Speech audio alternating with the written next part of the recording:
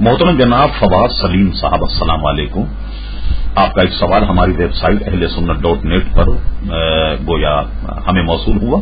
آپ نے یہ سوال کیا کہ زید کی بیوی اسے داڑھی منڈانے منڈوانے کا مشورہ دیتی۔ زید کو کیا کرنا چاہیے؟ ہرگز زید کو داڑھی نہیں منڈوانی چاہیے۔ داڑھی رکھنا سنت ہے اور ایسی عورت کو سمجھایا جائے جو سنت رسول صلی اللہ علیہ وسلم کے منڈوانے کا آپ کو مشورہ دیتی۔ اس کا یہ کہنا حرام ہے اور داڑھی کا منانا بھی حرام ہے، اب آپ اس کو تم بھی کریں کہ آئندہ وہ ایسی حرکت نہ کرے۔ داڑھی شاعر اسلام ہے اور علماء نے اسے رکھنے کو واجب قرار دیا ہے۔ ہرگیز بیوی کے اس مشورے پر عمل نہیں کیا جائے، بلکہ بیوی کو نہایت پیار اور محبت سے سمجھایا جائے اور داڑھی کی اہمیت سے اس کو آگاہ کرایا جائے۔ شکریہ۔